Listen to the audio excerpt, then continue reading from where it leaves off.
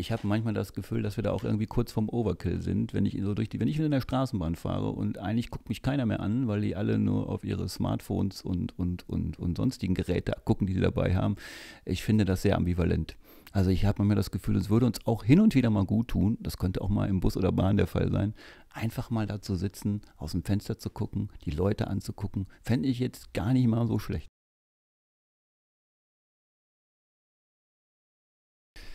Heiße Tom Schmidt, bin 56 Jahre alt, habe vier Kinder und einen Enkel und arbeite schon seit über 25 Jahren hier in der Kommunalpolitik. Wenn ich das richtig mitbekommen habe, ähm, kenne ich Ihr Gesicht von der Straße, von den Plakaten. Sie kandidieren als Oberbürgermeisterkandidat. Ist das, das ist richtig. Brauche ich gar nicht lange zu fragen.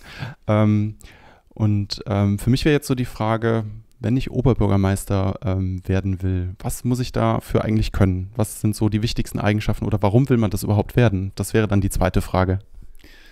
Also ich glaube, es ist schon eine, so ein bisschen eine Aufgabe für diese berühmte äh, eierlegende Wollmilchsau, was ein Oberbürgermeister alles können soll. Also der soll die Stadt repräsentieren, der soll dem Rat vorsitzen und auch das Ganze ein bisschen führen und außerdem soll er noch äh, Leiter der Verwaltung von über 4000 Mitarbeitern sein. Und dann soll er noch bürgernah sein und äh, nett und sympathisch, also eigentlich alles.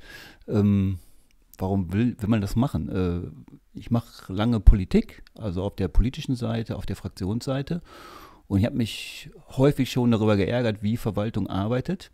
Und habe eine ganze Reihe von Ideen, wie ich es anders machen würde. Und da habe ich mir gesagt, jetzt ist mal die Chance, äh, dafür selbst zu kandidieren, den Leuten ein Angebot zu machen. Mal gucken, ob sie es haben wollen.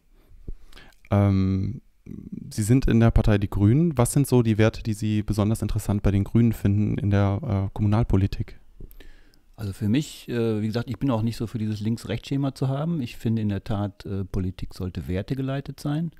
Für mich sind so Stichworte wie Vielfalt, Nachhaltigkeit und soziale Gerechtigkeit so Leitbegriffe, wo ich so meinen roten Faden finde. Mhm.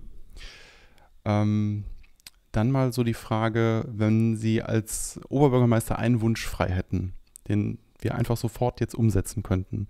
Gibt es da irgendwas, was Sie so im Kopf haben, was das sein könnte? Also so Richtung Feenwunsch, äh, egal ja, wie viel. Realismus, okay. Ja. Äh, ich glaube, ich würde mir wünschen, einmal die Ressourcen zu haben, um allen Kindern hier in Bonn sozusagen die gleichen Startchancen zu geben. Okay. Ähm, wenn wir jetzt nochmal uns auf Bonn konzentrieren, ähm, wo sehen Sie in Bonn die größten Potenziale? Also was sind eigentlich die Eigenschaften der Stadt, die Bonn auszeichnen aus Ihrer Sicht?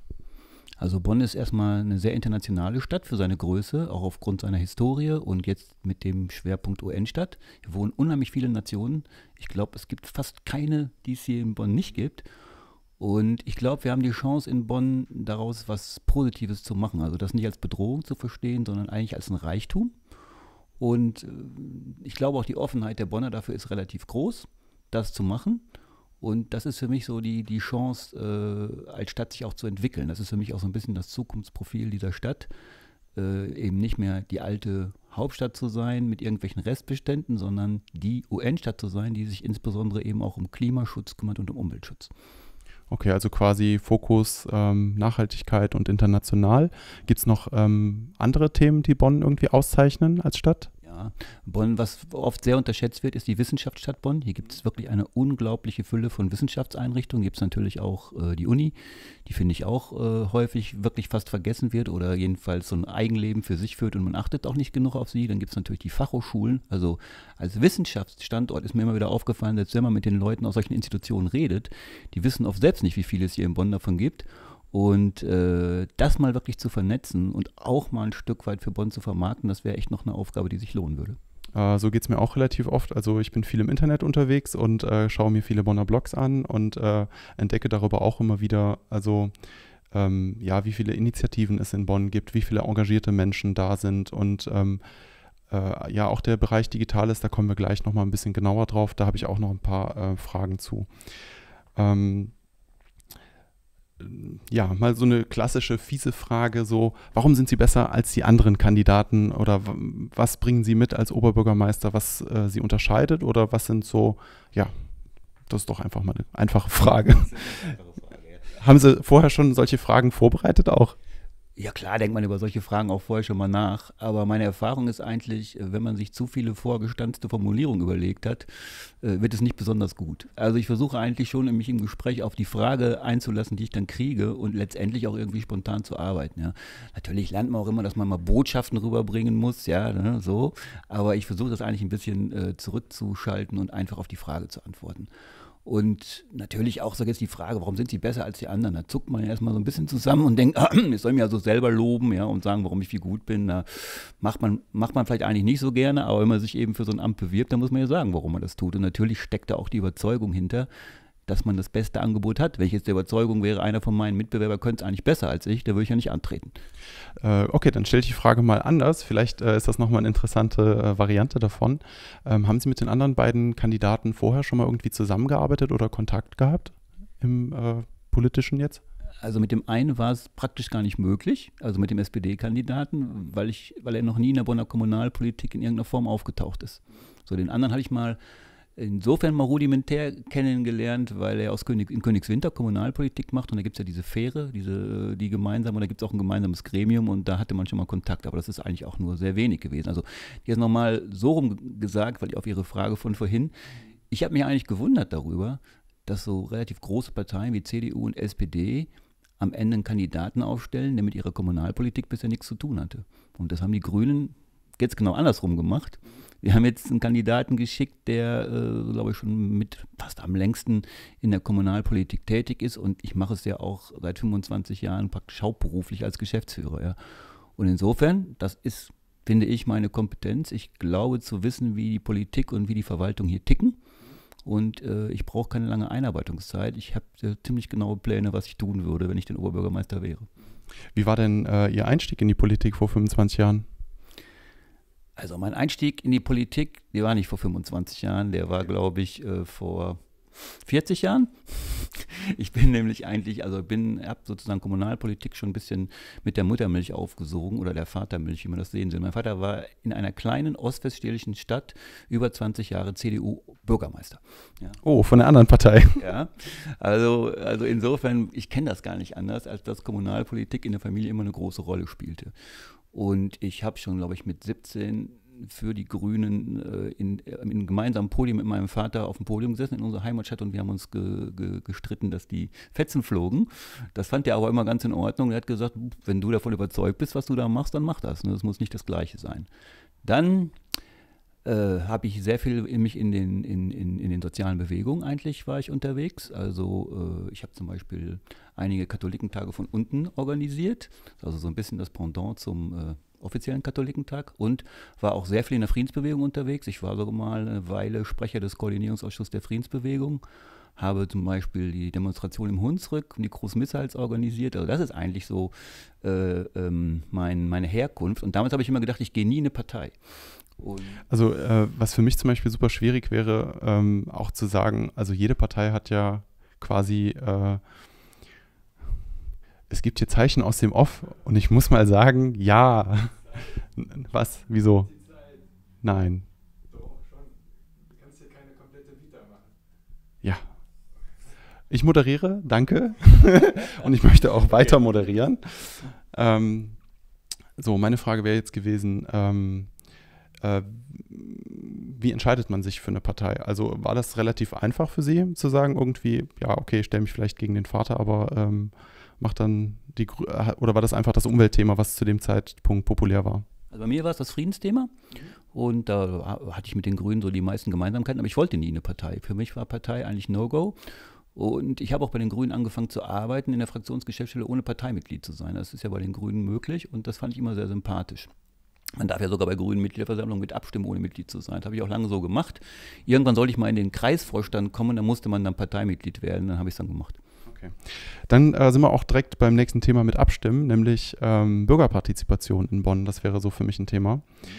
Ähm, wie wollen Sie das Thema hier in Bonn konkret mit Leben füllen? Also es gibt ja einen Bedarf äh, in meiner Sicht danach. Immer wieder sind Großprojekte ähm, auch daran gescheitert, dass nachdem Entscheidungen im Rat gefällt wurden, dann die Bürger gesagt haben, nee, das wollen wir nicht. Oder ähm, also man sieht es am Festspielhaus, man sieht es äh, wahrscheinlich jetzt wieder am Victoria Carré.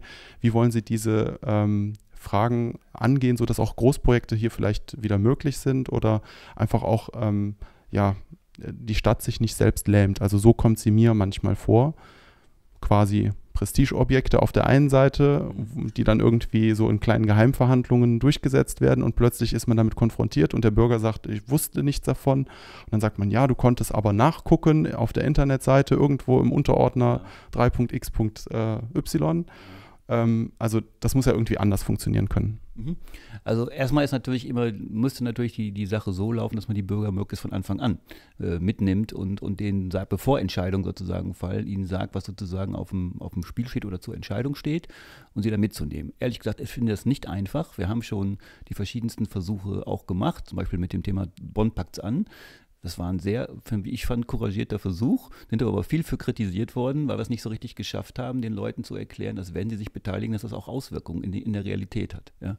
Und äh, es gibt ein paar. Da, da möchte ich gerade mal kurz einhaken. Also ich habe ähm, eine Ratssitzung mir tatsächlich im Livestream angeschaut aus dem Zug. Da hat mal kurz das WLAN funktioniert. Und ähm, da sind dann auch tatsächlich die Bonn-Pakts an Themen angesprochen worden. Das waren irgendwie 25 Entscheidungen.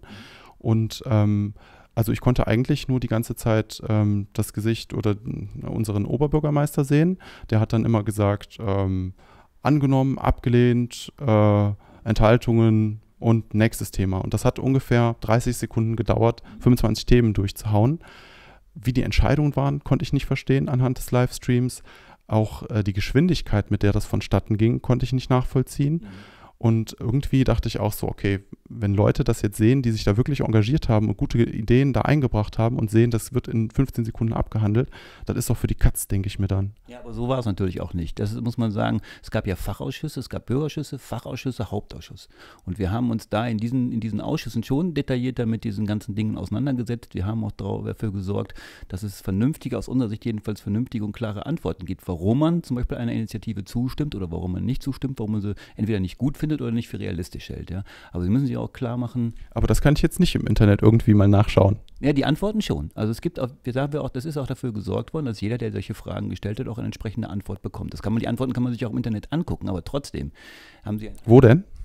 Äh, auf der, auf der, auf der allgemeinen Bonn-Seite müsste man sich dann äh, bei zu Bonn packt's an, glaube ich, durch, äh, durchklicken, dann wird man das da finden. Sie sehen, es ist gar nicht so einfach. Ne? Also ich meine, wenn ich auf die Bonn-Seite gehe, äh, bis ich da wirklich an dem Punkt bin, das zu finden, also erstens muss ich ja eine zielgerichtete Suche auch machen. Ne? Ich muss genau wissen, dass der Begriff oder mein Vorschlag Nummer 25, äh, den muss ich erstmal da raussuchen aus diesem Boris-System.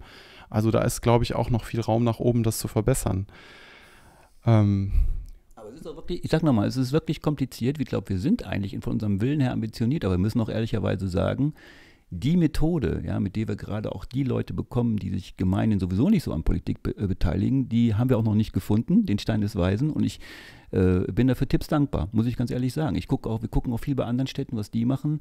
Aber es geht ja auch nicht nur über das Internet. Ja, ein Teil geht über das Internet. Es gibt immer noch viele Leute, die haben damit gar nichts zu tun. Die muss man auch beteiligen. Und die Fragen, gerade meinem Haushalt, sind natürlich auch sehr komplex. Ja. Und wenn Sie eine, eine Ratssitzung mit 90 Tagesordnungspunkten haben, was da so mehr oder weniger normal ist, dann müssen Sie das natürlich auch irgendwie bewältigen.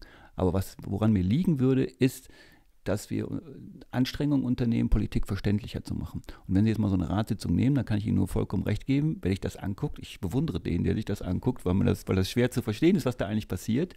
Und wir müssten dafür sorgen, dass wir vielleicht im ersten Teil der Ratssitzung mal die Punkte dran nehmen, die auf ein besonders großes Bürgerinteresse stoßen. Und wir müssen die in einer Art und Weise abhandeln, dass auch ein Außenstehender der Zug das verstehen kann. Hm. Also, äh, wenn Sie gerade fragen nach Tipps, äh, ich ja. hätte jetzt gesagt, also einmal überhaupt nochmal den Livestream auch so machen, dass ich mitbekommen kann, wie abgestimmt wird. Also vielleicht auch nochmal einen Blick in den Raum rein. Ja so ein bisschen Transparenz schaffen. Ich weiß, dass das diskutiert wurde und schwierig ist, äh, aber das ist eben mein Tipp und eben, dass man auch die Dokumente irgendwie mit eingeblendet bekommt, die gerade diskutiert werden, dass ich dann sagen kann, okay, das ist jetzt mein Thema, da klicke ich drauf und dann kann ich mir das anschauen. Klar, man muss auch ganzheitlich denken, Bürgerbeteiligung findet nicht nur im Internet statt. Das wäre auch ein Kritikpunkt jetzt zum Beispiel von mir, Bonn packt's an. Also da kann man vielleicht auch mehr lokale Veranstaltungen machen, regelmäßiger. Also können wir mal drüber reden. können wir nochmal noch noch vertiefen an anderer Stelle. Ähm, Thema Schulden. Bonn hat 1,7 Milliarden Euro Schulden pro Kopf. Also ich habe jetzt 5.450 Euro Schulden. Mhm. Da muss ich erstmal eine Zeit lang für arbeiten gehen. Äh, so, was ist das Geheimrezept, wie man den abbauen kann? Also erstmal würde ich die Schulden gerne unterscheiden. Also bei diesen 1,8 Milliarden sind es ungefähr 1,1 investive Schulden und das andere sind sozusagen echte Schulden. Aber man kann es vergleichen. Wenn Sie jetzt zum Beispiel äh, sich ein Haus kaufen, ja, dann haben Sie ja unter Umständen auch Schulden, sagen wir mal 200.000 Euro, aber Sie haben auch ein Haus. Ja, deswegen sind Sie also deswegen nicht ärmer, obwohl Sie Schulden haben. Das betrifft sozusagen diese, diese 1,1 Milliarden. Da gibt es Gegenwerte für, für die wir uns verschuldet haben, die wir aber haben und abbezahlen. Die anderen Schulden, die machen mir echt Sorgen, äh, sozusagen diese 700 Millionen, weil das sind quasi wie so Dispo-Überziehungen. Ja? Da haben sie irgendwie zu viel ausgegeben und müssen jetzt immer Zinsen dafür zahlen und äh, kommen nicht so richtig da wieder raus. Das ist schwierig. So. Wenn ich mir jetzt den Bonner Haushalt angucke, 1,1 Milliarden im Jahr, ja, das sind äh, 310 Millionen Personalkosten, 280 Millionen Sach- und Dienstaufwendungen und 450 Millionen Transferleistungen. Wow, die Zahlen sind gelernt, ne? Na, ich, das, die Zahlen, ich habe mich so oft mit dem Haushalt beschäftigt, die drei großen Blöcke, die kenne ich, weil es nämlich auch darauf ankommt, an diese großen Blöcke dran zu gehen. Und einer der wichtigsten Blöcke, wo ich finde, wo wir rangehen müssen, sind Personalkosten, weil die sich nämlich sehr dynamisch entwickeln. Ja? Also diese 310 Millionen, wenn wir eine Tarifkostensteigerung von einem Prozent haben. Ich kapiere schon nichts mehr. Sorry, muss ich jetzt sagen, ja. Warum? Zu viele Zahlen. Äh, aber ich habe verstanden, dass per, am Personal soll gespart werden. Und ähm, wenn ich jetzt in der Verwaltung sitzen würde, würde ich sagen, so, äh, sie wollen mich führen, aber gleichzeitig wollen sie irgendwie mir weniger Geld geben oder vielleicht mich sogar meine, meine Stelle streichen. Äh, nee. Das ist ja schwierig, oder? Nee? Habe ich falsch verstanden? Ja, also erstmal trotzdem, an der Zahl, da kommen sie jetzt nicht so schnell von weg. Ich finde, 300 Millionen kann man sich noch merken. Und 1% Tarifsteigerung kann man sich auch merken. 1% Tarifsteigerung kostet 10 Millionen zusätzlich Personalkosten, ohne dass irgendwas passiert. Ich will nur mal sagen, was für eine Dynamik das hat, wenn man 1, 2% Tarif, Tarifsteigerung im Jahr hat. So. So viel jetzt Zahlen. Jetzt okay. zu, anderen, zu der anderen Frage. Die andere Frage ist ja auch so, die, äh, ja, okay. Ja, die andere Frage ist, äh, ich will ja keine Leute entlassen, sondern es gibt ja eine ständige Fluktuation. Leute hören auf, Leute gehen woanders hin, Leute gehen in Rente und man kann eben nicht immer alles direkt nachbesetzen und teilweise auch gar nicht nachbesetzen. Das ist eher der Weg, den wir machen. Wir müssen mit dem Personal im Vergleich zu heute in der Tat runter, sonst werden wir den Haushalt nicht konsolidiert kriegen, ist meine Überzeugung. Ähm, ja, und ich habe auch schon ein, zwei Freunde in Bonn äh, in letzter Zeit mitbekommen, dass sie versucht haben, einen Termin überhaupt ähm, bei der Bürgerverwaltung zu bekommen und keinen Termin mehr bekommen haben. Erst einen in sechs Wochen und wahrscheinlich, und da hatte irgendwie das System auch keine Termine mehr angezeigt. Mhm.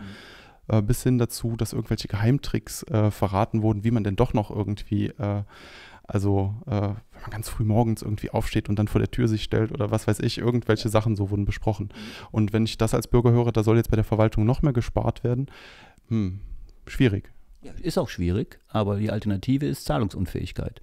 Aber wie fahre ich denn jetzt in Urlaub ohne Reisepass? Ja, das brauchen sie nicht. Also äh, ich gebe ja zu, dass diese Schwierigkeiten, die da, die da jetzt aufgetreten sind, dass man die auch beheben muss. Aber es liegt aus meiner Sicht nicht daran, dass wir jetzt einfach zu wenig Personale eingesetzt haben, sondern das neue System, was wir versucht haben zu installieren, hat noch nicht so richtig den Realitätstest geschafft, wie wir es in der Theorie uns vorher vorgestellt haben. Aber in der Tat ist es so, dass durch eine neue Art von, äh, von Bearbeitung eigentlich sogar die Qualität für den Bürgerservice steigern, gesteigert werden sollte, indem man nämlich nicht mehr da rumsitzt und stundenlang im Bürgerbüro wartet, sondern indem man feste Termine kriegt. Ist auch nach wie vor die Zielvorstellung. Ich glaube, wir erreichen das auch. Aber zum Beispiel diese Umstellung hatte insgesamt, sollte doll damit eingespart werden, eine Größenordnung von 1,3 Millionen im Jahr. Und das ist schon mal eine Größenordnung, die man hat. Und ich sage es nochmal, wer immer sagt, eigentlich müssen wir sparen, ja, wenn Sie fragen, jemand fragen, kann, soll die Stadt eigentlich weiter so machen, mehr Geld ausgeben, als er einnimmt, sagt jeder, nein, das geht ja nicht. Ja, ihr müsst jetzt endlich mal so viel Geld äh, nur ausgeben, wie ihr auch einnehmt. Wenn man dann aber sagt, ja, dann müssen wir jetzt Maßnahmen ergreifen, dann sagen alle Leute, nee, das finden wir jetzt aber nicht so schön.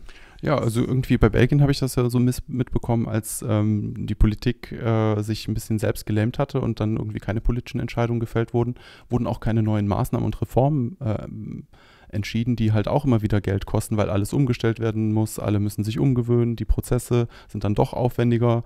Mhm. Also vielleicht wäre es einfach mal gut zu sagen, wir ändern nichts, wir lassen es einfach laufen und wir optimieren nur Kleinkram so ein bisschen. Also ist jetzt vielleicht naiv, aber. Ja, dann, das würde bedeuten, dass wir in, in, in zwei bis drei Jahren im Nothaushalt wären und dann würden wir gar nichts mehr entscheiden, sondern würde es die Regierungspräsidentin tun. Und das wäre für mich ein kommunalpolitischer Offenbarungseid, äh, so, zu, so, so vorzugehen. Wir müssen, haben 100 Millionen zu viel Ausgaben pro Jahr, müssen mindestens 100 Millionen weniger ausgeben. Und ich finde, das ist eine Anstrengung von uns allen, die wir leisten müssen, dass wir das hinkriegen. Und das macht nicht immer Spaß und manchmal muss man sogar auf Maßnahmen verzichten, die eigentlich, die man eigentlich gut findet. Aber bevor man zahlungsunfähig wird und gar nichts mehr entscheidet, finde ich das den besseren Weg.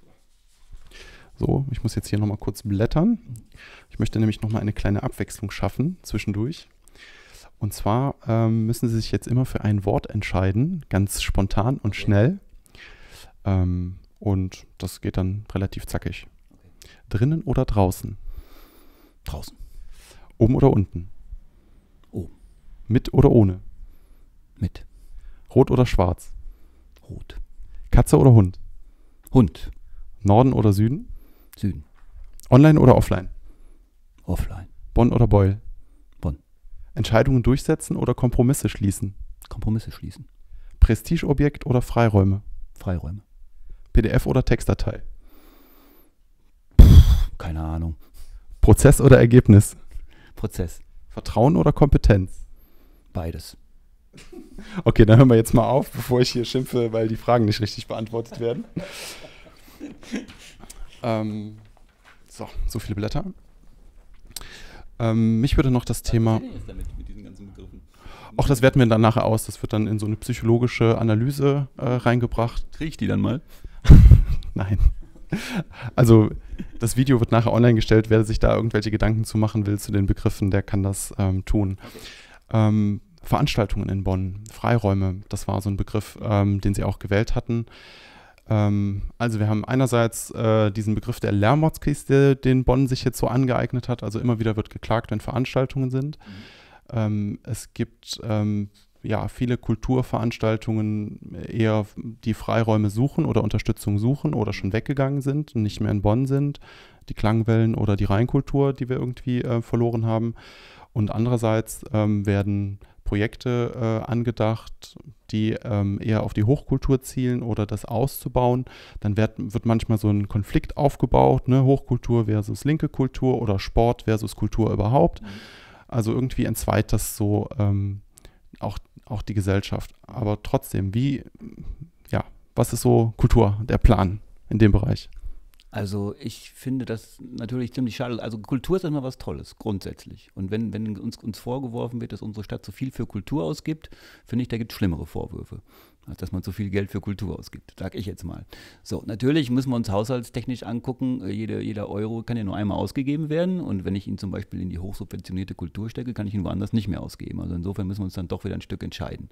Ähm, das ist aber auch so ein bisschen eine Antwort, um jetzt äh, niemandem auf die Füße zu treten. Ich wollte es gerade anfangen. Ich okay. wollte nur mal sagen, also weil, wenn ich jetzt so mit großer Empörung gelesen habe, Bonn ist die Stadt, die am meisten pro Einwohner für Kultur ausgibt. Das empört mich jetzt erstmal in, in, in erster Linie nicht. Ja, wobei das, wobei das ja wahrscheinlich in eine gewisse Richtung fließt. Eher in die Hochkultur, da wird wahrscheinlich mehr pro, sagen wir jetzt mal, Person ausgegeben, als wenn irgendwo äh, vielleicht nur, äh, was haben wir, die, ähm, nicht die Metzgerhalle, äh,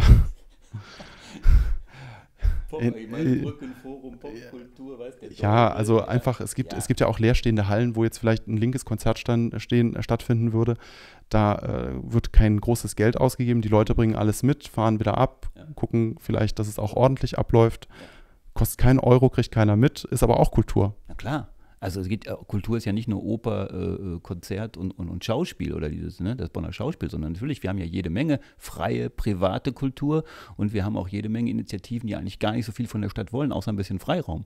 Ja, einfach mal einen Platz oder auch mal eine Halle, die jetzt vielleicht gerade nicht genutzt wird, die man auch jetzt nicht für die nächsten 20 Jahre nutzen will, sondern einfach mal für den nächsten Sommer.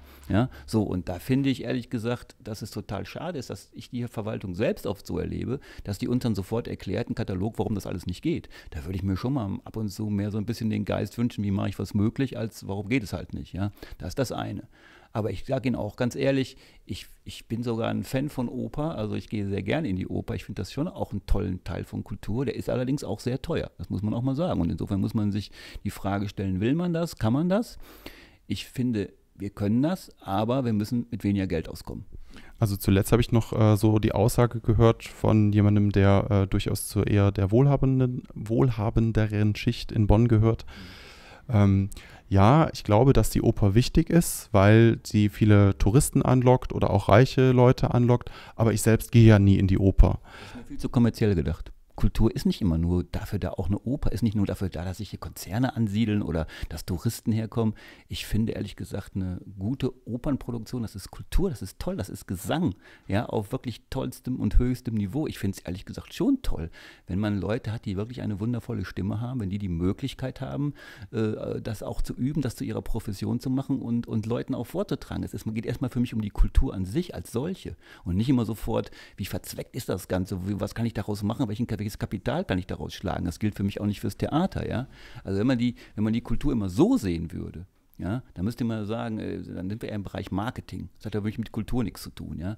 Äh, sag mal, da kann ich auch, äh, was ich, Thema Beethoven, nehmen wir mal Beethoven, ne, mit dem Festspielhaus, was hier gebaut werden sollte, was ich gut finde, dass es nicht kommt, kann ich ja so ein Konzept machen, da sollen möglichst viele äh, Chinesen, Japaner und sonst was hier durchmachen. Dann baue ich hier am liebsten eine Halle hin, spiele dreimal am Tag Beethovens Neunte runter und lasse die im Zwei-Stunden-Rhythmus immer da durchlaufen. Ja, da hat jeder seine eigene Vorstellung, so was eigentlich Kultur ausmacht und was es ist. Aber trotzdem, wenn es um, um äh, so Ratsentscheidungen geht und dann richtig viel Geld auf dem Spiel steht und äh, Schulden sind, dann finde ich, geht es auch um Kommerz.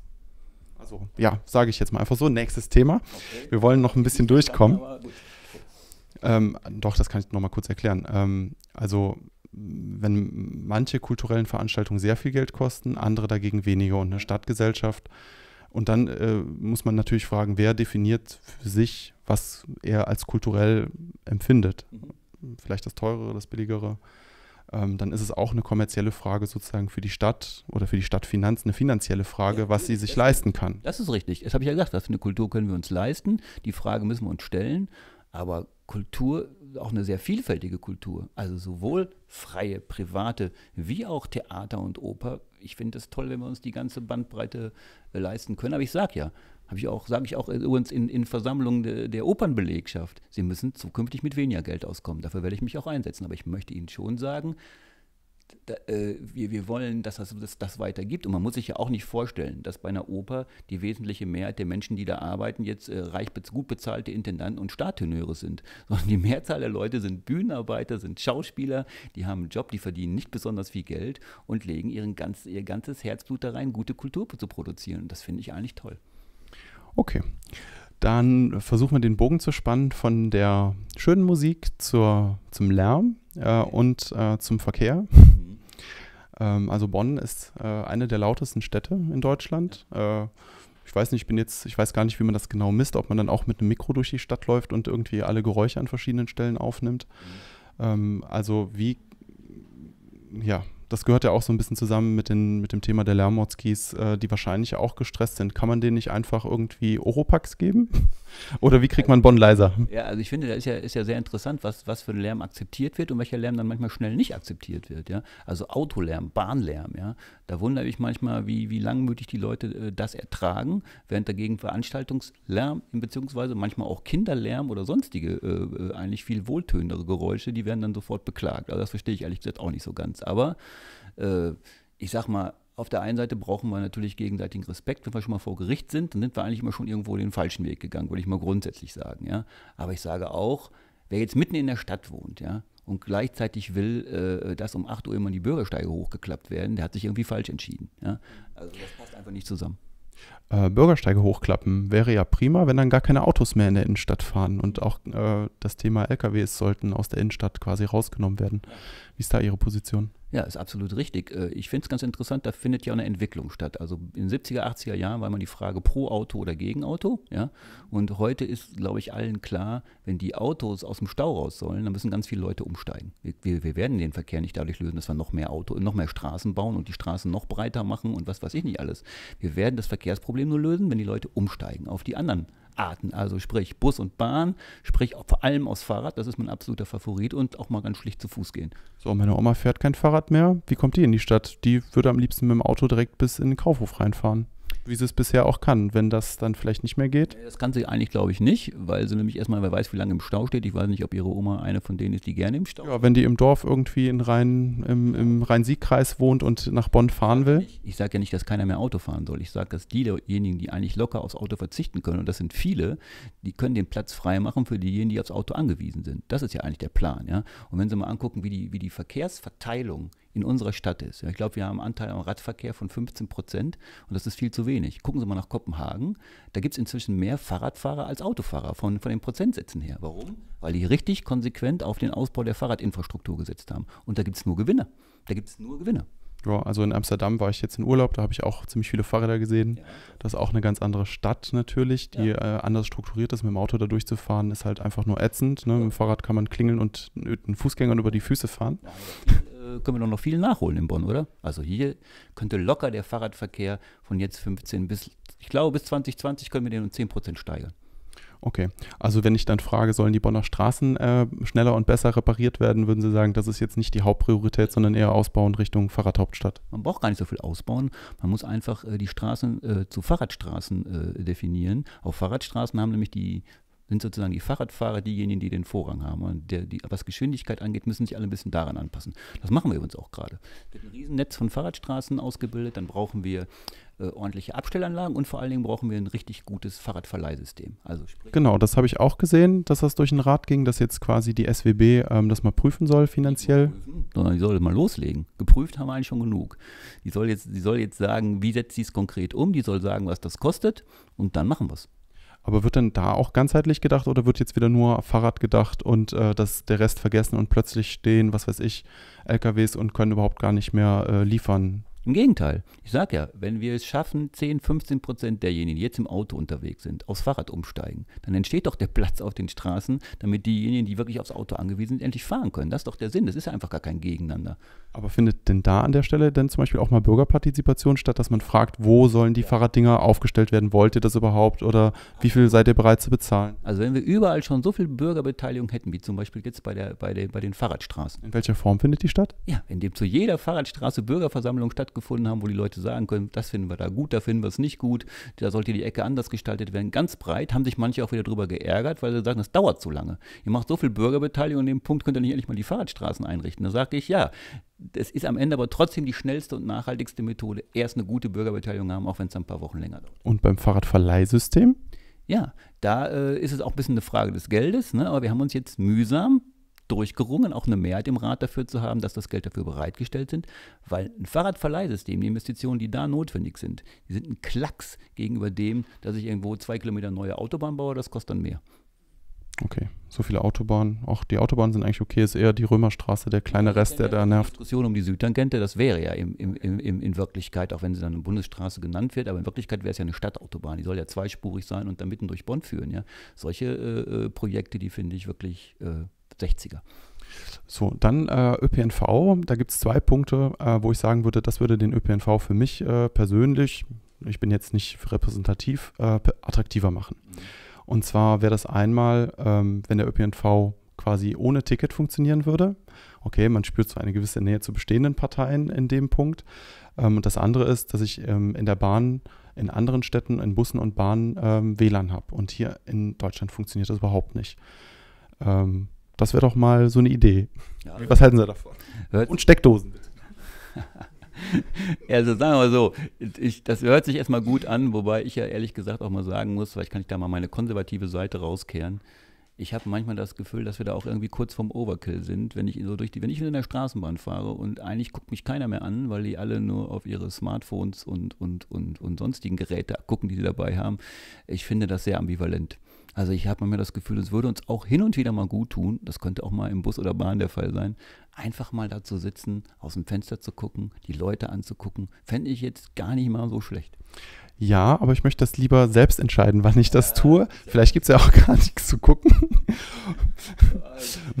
nicht immer was zu gucken, aber ich sag mal, das ist, ich, ja klar sollen die Leute. Früher habe ich halt ein Buch gelesen oder habe äh, Musik mit dem CD-Player gehört und jetzt würde ich halt gerne auf dem Handy lesen, was gerade in Bonn passiert und welche Ratsinformationsnachrichten gerade neu rauskommen, damit ich mich da beteiligen kann. Ja, ich, ich äh, finde, gut, wir denken, ich denke mal drüber nach, aber, aber ich finde, man soll auch mal ab und zu sich noch so ein, so ein, so ein, so ein Päuschen gönnen, wo man einfach mal mit sich selbst sich beschäftigt oder mit seinem Gegenüber mal wirklich ins Gesicht guckt, finde ich gar nicht so doof. Äh, Moment, ich kriege gerade einen Anruf. Okay. Nur Spaß.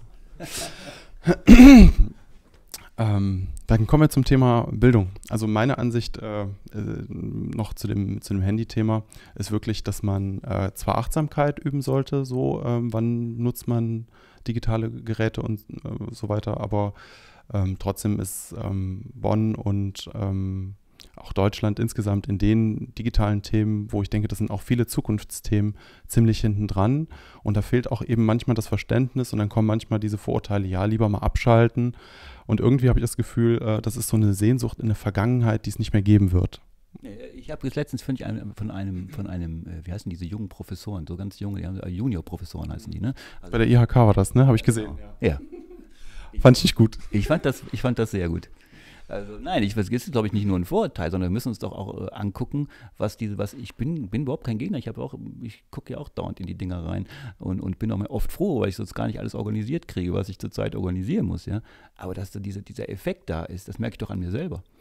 Also ich glaube, dass es nur so eine Überforderung ist und ähm, dass dann aber zu Enthaltsamkeit aufgerufen wird. Und dann denkt man natürlich, ah toll, da muss ich mich überhaupt gar nicht mehr mit den digitalen Themen beschäftigen. Nein, nein, nein, nein, im Gegenteil, man muss sich damit beschäftigen, aber man braucht ab und zu auch mal eine Pause davon. Ja, das stimmt, da stimme ich zu, aber da will ich einfach selber sagen, wann ich das so, also, also nicht so im, in so einem religiös überhöhten, ne? also man muss, ent, man muss das Handy mal zwei Stunden weglegen. Nee, aber man muss auch nicht 24 Stunden online sein. Okay, also manchmal kann man viel Quatsch gucken auf dem Handy, manchmal kann man sich aber auch fortbilden und interessante Sachen lesen. Ich will nur eine blöde Überleitung zum Thema Bildung machen. ähm, Oh, wobei, mir fällt noch eine Sache ein, äh, das Thema Freifunk, äh, da wollte ich nochmal nachfragen. Also zum einen, ähm, Busse und Bahnen äh, wäre toll, wenn die vernetzt werden, aber es ist eine Hölle in der Stadt irgendwie ein Café zu finden, wo ich einfach mal ins Internet gehen kann. Also es gibt, ich kann nur fünf aufzählen und die habe ich mir gut gemerkt, weil ich da regelmäßig hingehe. Mhm. Ähm, und ich finde, ja, wenn man eben Online-Bürgerbeteiligung auch anbieten will, dann muss es auch einfacher sein. Und eine ganz schöne Initiative war jetzt von den Freifunkern, dass die in der Armekal-Kaserne ähm, die Flüchtlinge kostenloses Internet gelegt haben. So, kriegt die Stadtgesellschaft das mal bitte hin, überall kostenloses Internet hinzukriegen? Das muss doch so eine Art Grundrecht sein, aus meiner Sicht. Äh, ob es ein Grundrecht, Grundrecht sein muss, weiß ich nicht, aber ja, ich finde, das müssen wir hinkriegen. Also diese, und diese Freifunkinitiative ist auch von uns äh, als Grünen äh, nachhaltig unterstützt worden und das tun wir immer noch, wir versuchen gut mit denen zusammenarbeiten, finde ich eine richtige Initiative. Schön. Dann hoffe ich mal, dass wir demnächst, äh, also hier funktioniert das schon, habe ich gesehen. Ja, hab ich auch gesagt, so sein soll.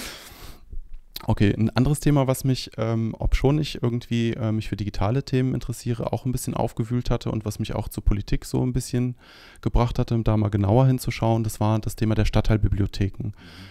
Also einerseits ähm, droht die Schließung der Stadtteilbibliotheken mittlerweile. Ähm, das habe ich überhaupt gar nicht eingesehen. Zum anderen habe ich dann mitbekommen, es wird ähm, das Haus der Bildung gebaut, wo sehr viel Geld investiert wurde, teilweise auch mehr als geplant war. Mhm. Da haben wir jetzt die Eröffnung am 22. Und einerseits ist man, denkt man, ist man geneigt zu sagen, ja, in Bildung muss man investieren, mhm. aber muss es denn so ein Prestigehaus sein? Also ich will mir das erstmal auch anschauen, was denn jetzt wirklich draus geworden ist. Aber trotzdem finde ich es total schade, dass ähm, ja, das zentralisiert wird und aus den Stadtteilen die Stadtteilbibliotheken kaputt gemacht werden, inklusive des gesamten ehrenamtlichen Kosmos drumherum. Also, erstmal das ist für mich wieder so, so, ein Beispiel, wo man einfach mal gucken muss, wie ist die Entwicklung gewesen. Wir haben gesagt, ein Haus der Bildung ist für mich überhaupt kein Prestigeobjekt, sondern es gibt endlich mal ein vernünftiges Haus, wo die VHS ordentlich untergebracht ist. Ich weiß nicht, ob Sie die mal in der Wilhelmstraße sich angeguckt haben vorher. Das war das reine Grauen. Das hat ja auch viel mit Bildung zu tun, was ich da anbiete. Und zum anderen mo modernen Bibliothekshauptstandort zu haben, der ja heute nicht mehr darin besteht, dass man hingeht und sich ein Buch ausleiht. Ja? Ich meine, das war früher. Da ist man hingegangen, hat sich ein Buch ausgeleiht, hat es 14 Tage mitgenommen, muss es wieder abgeben. So, heute geht es aber überhaupt um, um Medienkompetenz. Ja? Mhm. Heute muss man, den, muss, man, muss man den allen Leuten, jungen wie alten, Medienkompetenz beibringen. Das ist eine sehr viel, sage ich mal, größere Herausforderung, die da in diesem Haus der Bildung, was den Teil Bibliothek angeht, jetzt gestemmt wird. Und da haben wir damals gesagt, dafür brauchen wir, um das zu können, mehr Personal, als wir da vorher drin gehabt haben. Und wo nehmen wir das Personal her? Wir kommen wieder zu unserem alten Thema ne, mit den 300 Millionen, Sie erinnern sich grob, äh, dass wir nicht einfach immer zusätzliches Personal einfach einstellen können. Haben wir damals schon gesagt. Wenn wir das Haus der Bildung dann einrichten, dann werden wir einen Teil Personal aus den Stadtteilbibliotheken abziehen müssen und weil wir das dann da brauchen. Und wir werden nicht das Geld haben, obendrauf noch sozusagen das Personal einzustellen, sondern so. So, jetzt haben wir uns sehr viel Mühe gegeben, was die Stadtteilbibliotheken angeht, zu sagen, Leute, in der Form wie bisher können wir es uns nicht mehr leisten, haben wir das Personal nicht mehr, ja.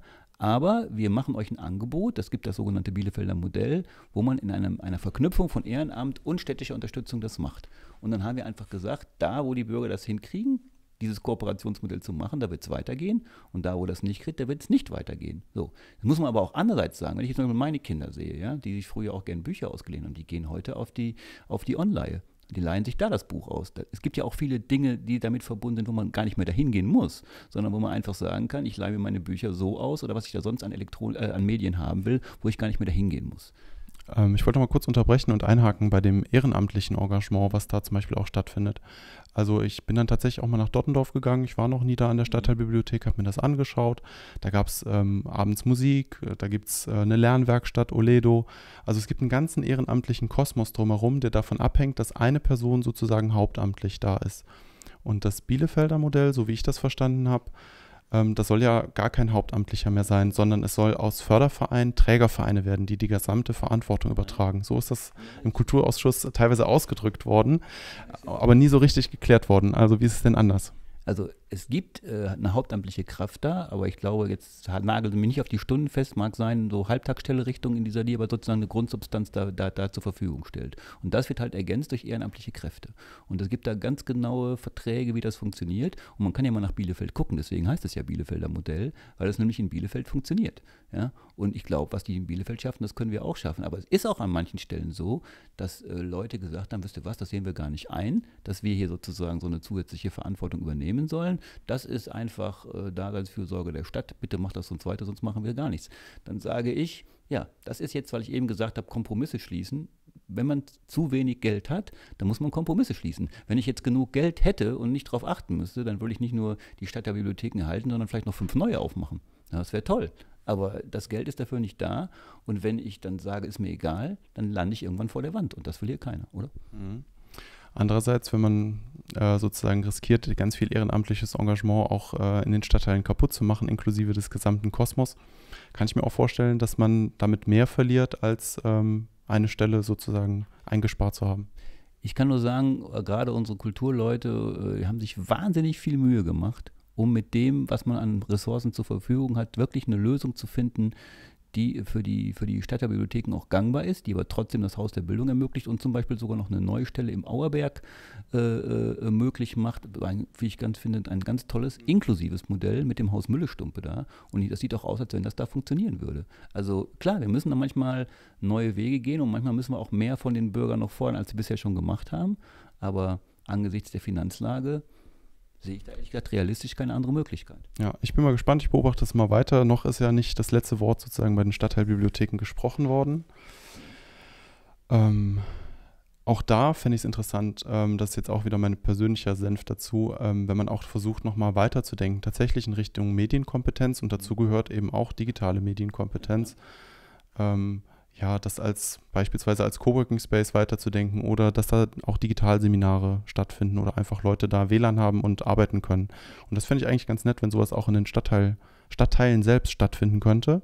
Und vielleicht gibt es ja sogar Leute, die das so interessant finden, dass sie sogar bezahlen würden oder dann auch sagen, wir engagieren uns drumherum, wenn es einfach nur ein anderes Label ist. Es gibt Steckdosen, es gibt WLAN und ich kann da arbeiten und vielleicht lese ich auch mal ein Buch ich glaube, dass diese Affinität, die Sie haben zur, zur, zur Digitalisierung, dass das äh, noch nicht so viele in der Bevölkerung sind, dass man das sozusagen flächendeckend so anspielen kann. Ja?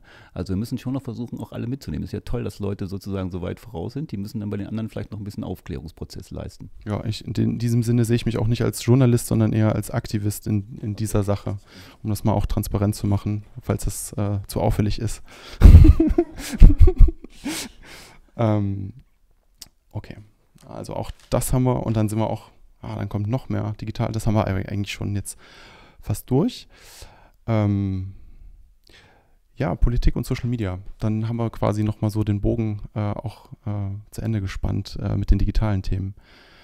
Ähm, Sie twittern, Ihre, Ihr Kollege ähm, Herr Ruhnstrothbauer twittert, Herr Schriederer nicht.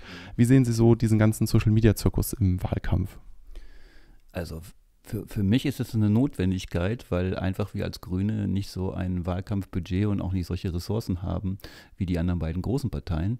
Und da ist für mich äh, dieser Social-Media-Prozess ein Stück Demokratisierung, weil man nämlich mit relativ wenig Ressourcen, das ist jedenfalls meine Hoffnung, äh, da so ein bisschen gleichziehen kann. Da kommt es irgendwie ein bisschen drauf an, dass man, sag ich mal, so ein bisschen originell ist und, und, und interessante Sachen macht. Und für mich ist das so ein Stück Demokratisierung, dass ich an der Stelle jedenfalls hoffe, ich mit den anderen beiden mithalten kann, obwohl wir eben wesentlich kleiner sind und nicht die gleichen Ressourcen haben. Ähm, haben Sie vorher schon getwittert vor dem Wahlkampf? Ich muss ganz ehrlich sagen, ich mache das wirklich äh, für mich ist das nicht, kein, kann nicht so eine Frage von Spaß in erster Linie, sondern ist für mich eine Frage, dass das einfach andere Vertriebswege sind. Sage ich ganz klar. Für mich sind das politische Vertriebswege äh, und die versuche ich jetzt zu nutzen. Musste ich mich erst schwer daran gewöhnen. Ist auch, finde ich, also sag ich mal, gegenüber Facebook ist jetzt so wieder Twittern ja nochmal eine Runde schneller, weil das soll man ja am liebsten, sage ich mal, dreimal die Stunde machen oder so. Und wenn man das wirklich tut, weiß ich gar nicht, wie man, wie man überhaupt noch zum Nachdenken kommt zwischendurch über, über irgendwelche Dinge. Vielleicht ist mein Alter aber auch. Äh, Einfach sich mal in die Bahn setzen und die WLAN-Freiheit genießen.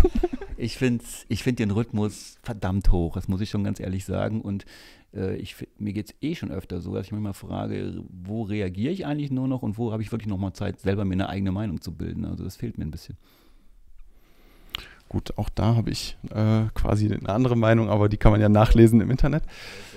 Ähm, kommen wir zur letzten Frage. Äh, das ist nochmal eine Gelegenheit für Sie sozusagen, äh, die Themen anzusprechen, also oder ein Thema anzusprechen. Wir machen es jetzt auch nicht mehr allzu lang, mhm. ähm, wo Sie sagen, das äh, hätte ich jetzt gerne heute noch sozusagen äh, transportiert. Ja.